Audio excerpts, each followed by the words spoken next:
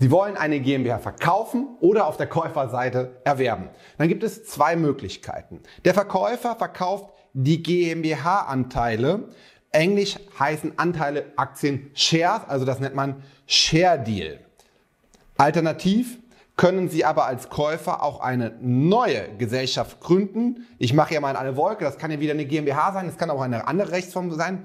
Und Sie nehmen sich alle Wirtschaftsgüter, die Sie GmbH hat, alle Arbeitsverträge, alle Mietverträge und übertragen diese Verträge alle einzeln und diese Wirtschaftsgüter auf Ihre neue ähm, Company. Ja, das nennt man dann Asset Deal, englische Wort für einzelne Wirtschaftsgüter, die man verkauft. Und wir werden jetzt rausarbeiten, dass der Asset Deal für den Käufer sehr, sehr, sehr viele Steuervorteile bringt und der Share Deal für den Verkäufer Vorteile bringt. Und dann geraten wir in einen Konflikt und dann schauen wir mal, wie wir diesen Konflikt optimal lösen können.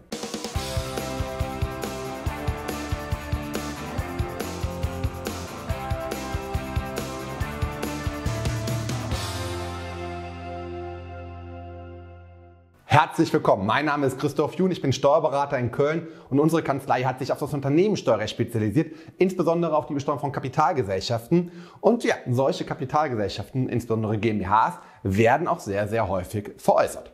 Wir nehmen einen Veräußerer, der hat ähm, idealerweise 100 Prozent, es können aber auch zwei Veräußerer sein, 50-50 oder äh, sieben Veräußerer und jeder hat irgendwie 12, irgendwas Prozent, ja, oder 14 Prozent. Ähm, auf jeden Fall sind sich alle Veräußerer einig, sie wollen die GmbH verkaufen. Es gibt auch einen Käufer oder mehrere Käufer, das ist egal, das gibt, funktioniert alles. Und es gibt nun diese beiden Varianten. Im ersten Fall geht man zum Notar und beschließt beim Notar, alle Verkäufer verkaufen ihre GmbH-Beteiligung an den einen oder die mehreren Käufer und ja, es fließt der und der Kaufpreis. Alternativ geht man zum Notar und sagt, ich bin Geschäftsführer der veräußernden GmbH und ich verkaufe als Geschäftsführer der GmbH alles, was ich habe, an die andere grüne GmbH oder die grüne GmbH und KKG. Können wir auch mal gleich drüber reden, was da die beste Rechtsform ist. Ähm, da wird man sagen, das ist nicht unbedingt zu beurkunden, diese zweite Variante, der sogenannte Asset Deal, aber es gibt eine versteckte Regelung, Paragraphen 311b des bürgerlichen Gesetzbuch. Wenn eine GmbH über ihr gesamtes Vermögen verfügt, ist auch das zu beurkunden. Also sicherheitshalber auch hier den Schritt zum Notar nehmen und die paar extra Gebühren gerne in Kauf nehmen, damit dieser Vertrag auch wirklich wirksam ist. Was ist nun besser? Ähm, in der Praxis ist es bei uns so in der Kanzlei, dass meistens beide sich schon unterhalten haben in der Firma. Häufig ist es auch so, dass eine ist der Senior, das andere sind die Junioren. Die sind schon in der Firma, sind die schon angestellt und die sind sich einig, ihr wird das jetzt übernehmen, ihr beiden Käufer. Und wir einigen uns auf einen Kaufpreis von zum Beispiel eine Million Euro oder 1000 Geldeinheiten. Ich habe schon gesagt, der Share Deal, also Verkauf der Anteile, ist für den Verkäufer sehr gut. Warum ist das so? Wenn er nun eine Million oder 1000 Geldeinheiten bekommt, ähm, kann er davon seine Anschlusskosten, meistens 25.000 Euro für die GmbH-Gründung abziehen, so dass er dann noch 975 Gewinn hat.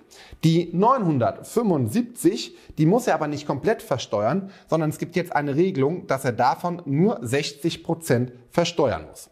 Das sind dann 585.000 Euro. Und darauf muss er seinen persönlichen Steuersatz ansetzen, der Verkäufer. Bei so hohen Beträgen, äh, deutlich über 500.000 Euro, reden wir also über Reichensteuer 45 Prozent, Einkommensteuer plus Soli, Kirchensteuer, Gewerbesteuer fällt hingegen keine an. Also wir sind ja bei ungefähr 50 Prozent.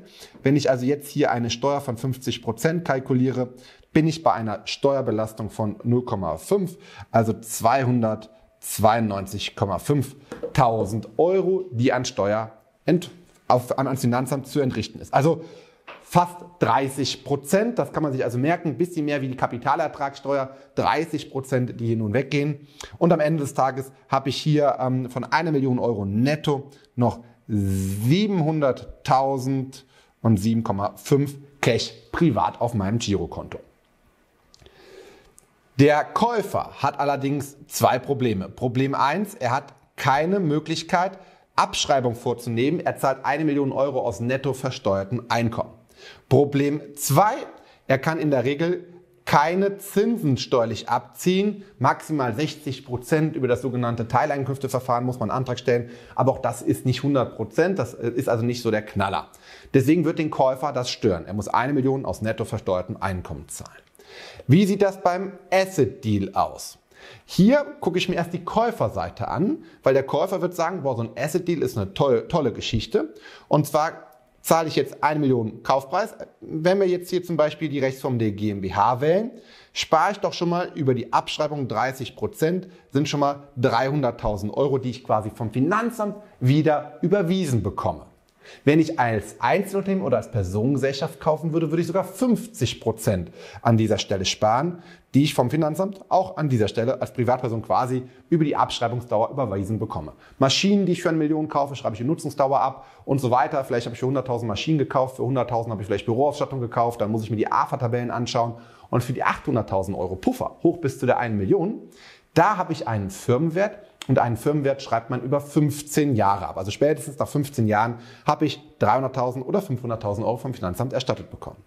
Weiterer Vorteil ist, ich kann die Zinskosten die kann ich steuerlich abziehen. Ähm, aus äh, irgendwelchen Gründen hat die GmbH dafür ein Darlehen aufgenommen von der Bank, muss natürlich Zinsen zahlen und die kann die GmbH auch komplett abziehen, genauso wie es Einzelunternehmen oder GmbH und Co. KGs als grüne Erwerbergesellschaft auch machen können. Deswegen wird der Käufer sagen, komm, wir machen hier den Asset Deal und der Veräußerer wird sagen, komm, wir machen hier den Share Deal.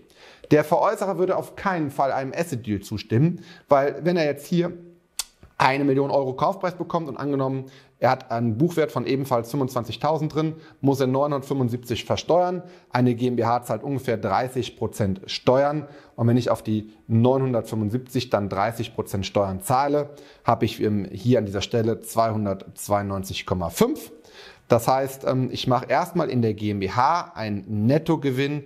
Eine Million kommt rein, 292 ziehe ich ab, ähm, gleicher Betrag wie oben, 707,5. Aber jetzt gehört das Geld der GmbH und die GmbH muss es jetzt noch an ihn privat ausschütten und dann fällt auf die 707,5 nochmal 25% Kapitalertragssteuer an und ähm, für diese Gewinnausschüttung gehen. Also nochmal 100, ich runde an dieser Stelle 180 verloren, sodass ich am Ende ähm, 707 minus 180 nur 527 netto habe, also ungefähr ein Drittel weniger wie im Bereich des Share Deals. Und das sind bei uns in der Kanzlei sehr häufig die Praxisfälle, wo sich beide geeinigt haben auf einen Kaufpreis von eine Million Euro und beide lassen sich dann von ihren individuellen Steuerberatern beraten und der Steuerberater auf der Käuferseite, ja, der sagt, mach unbedingt einen Asset Deal und der Steuerberater auf der Veräußererseite macht unbedingt einen Share Deal und dann findet man sich zusammen. Und was passiert dann?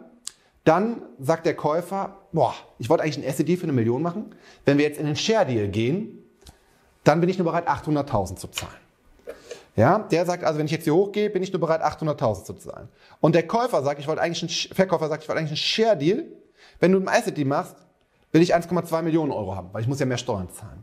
Und dann ist es die Aufgabe von unseren Steuerberatern, dieses Problem zu lösen. Meine Damen und Herren, dieses Problem haben wir bereits gelöst.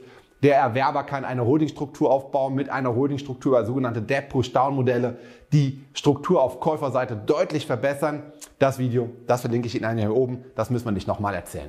Und mir bleibt da nichts anderes übrig, als Ihnen zu sagen, wenn Sie so etwas vorhaben, rufen Sie an, lassen Sie sich von uns beraten. Wir haben uns aufs Unternehmenssteuerrecht spezialisiert und dazu gehört auch das Unternehmen verkauft und gekauft werden. Dafür haben wir Steuerberater und Rechtsanwälte bei uns in der Kanzlei.